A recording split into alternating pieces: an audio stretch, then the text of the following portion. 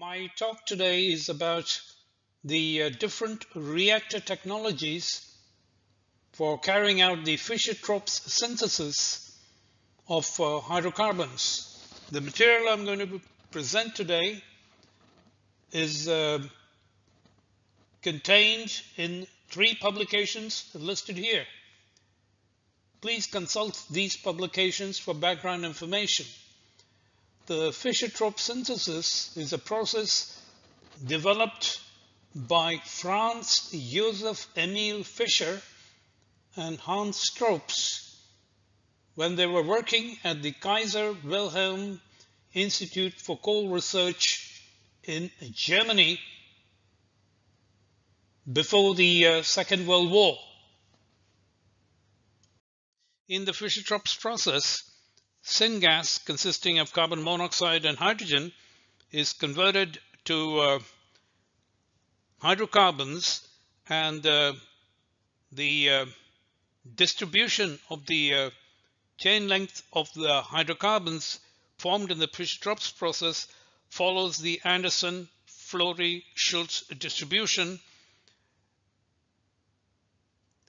One of the important characteristics of the Fischer-Tropsch reaction is that it is uh, highly exothermic and the adiabatic temperature rise is uh, about 1600 degrees centigrade. And the Fischer-Tropsch reactor technology choice is uh, driven by this exothermicity and how this can be uh, coped with in the uh, reactor chosen for this process. Here is the uh, graph showing the product distribution uh, in a Fischer-Tropsch uh, process. Um, we produce a range of products from um, waxes, gas oil, kerosene, naphtha to uh, LPG and fuel gas. Typically, it is desired to have a catalyst uh, that produces a value of alpha that gives products in this range.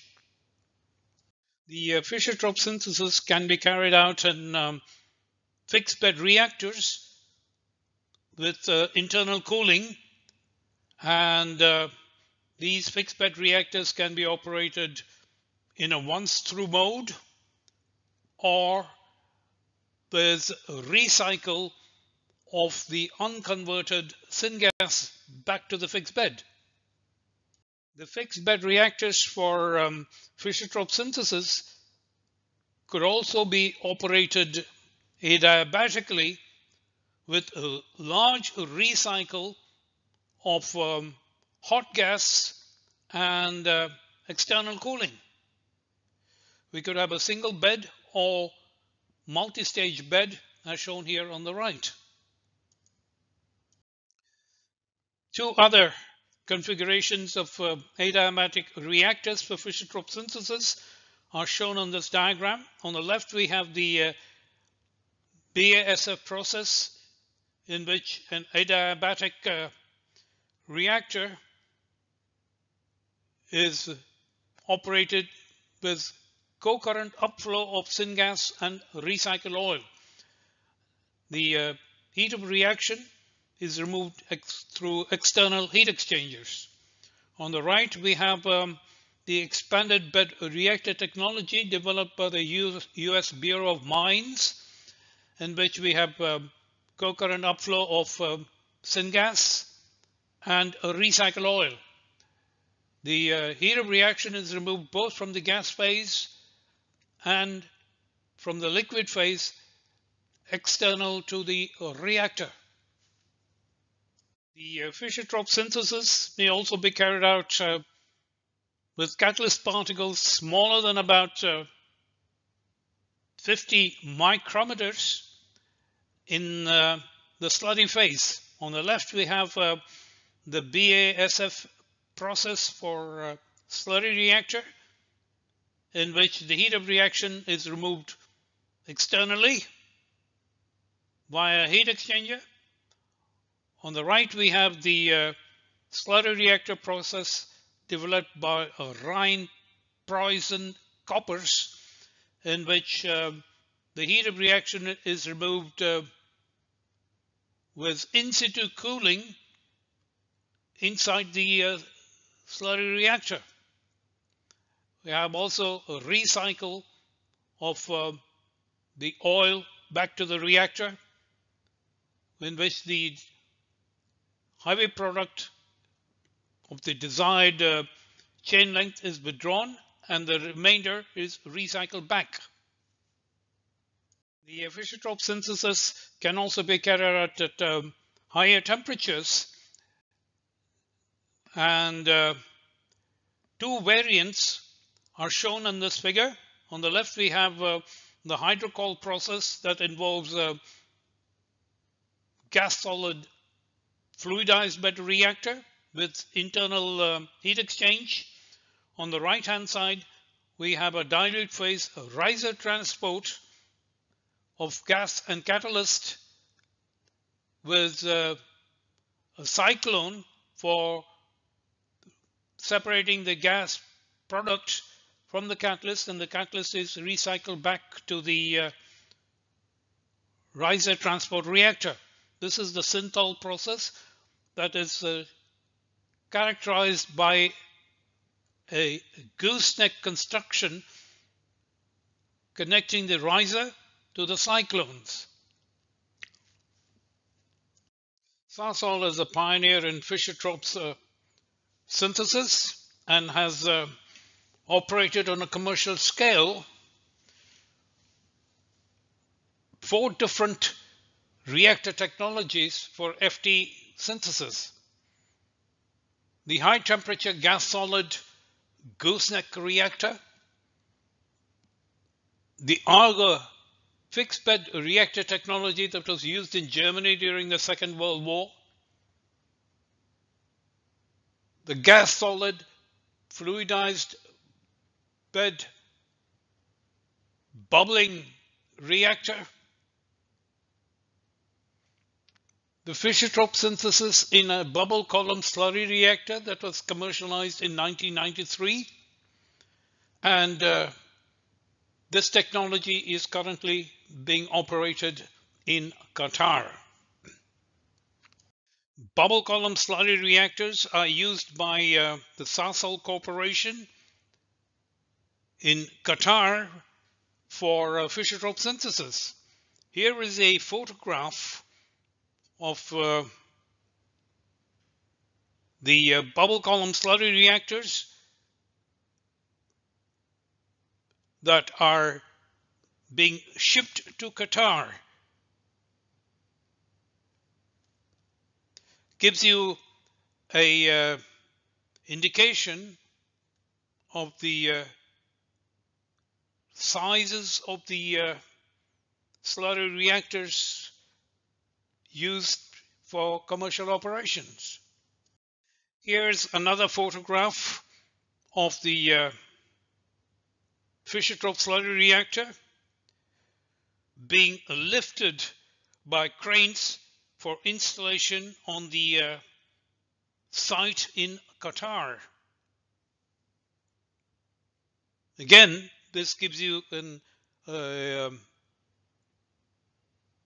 good indication of the large sizes of the bubble columns that are used in commercial practice.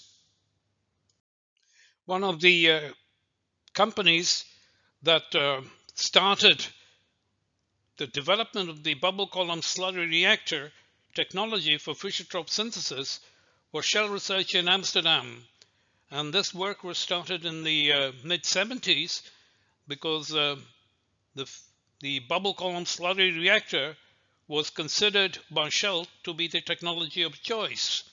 However, during the um, scale-up uh, studies, um, it was uh, increasingly realized that the uh, Fischer-Tropsch slurry reactor posed uh, difficulties of scale-up and uh, due to incomplete knowledge of the hydrodynamics and mass transfer characteristics of bubble column slurry reactors for large-scale industrial Fischer-Tropsch processes, uh, the Shell company decided to switch the development activities to uh, a multitubular trickle bed technology that offered a quicker path to commercialization. The background to this uh, development uh, activity is uh, discussed in these two publications. Here is a schematic of a multitubular trickle bed reactor for Fischer-Tropsch synthesis, where the catalyst is packed into in um, tubes, typically about two inches in diameter. And an important advantage of um, the multitubular trickle bed reactor is that uh, in theory, the scale up can be achieved by multiplication because uh, the development of the process can in principle be carried out in um, say a single tube or in a group of uh, say four tubes. The distribution of gas and liquid evenly through each of these uh, tubes is an issue that needs to be addressed. Due to the uh, poor heat transfer characteristics of a multitubular trickle bed compared to a bubble column slurry reactor for an um, industrial scale Fischer-Tropsch process, more than um, a single trickle bed unit has to be placed and operated in parallel. For example, this is the uh, photograph showing the uh, multitubular trickle beds that were under construction for the uh, shell process for Fischer-Tropsch synthesis that was commercialized in Bintulu in Malaysia.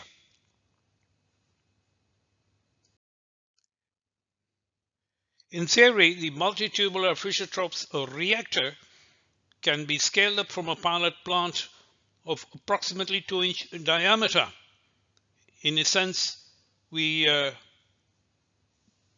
can carry out the development activity in a single tube. In practice, uh, the pilot plant uh, may consist of a four tube setup.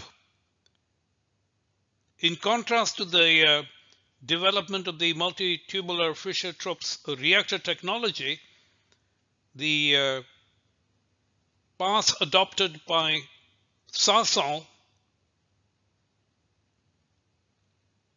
for Fischer-Tropsch reactor development is somewhat different.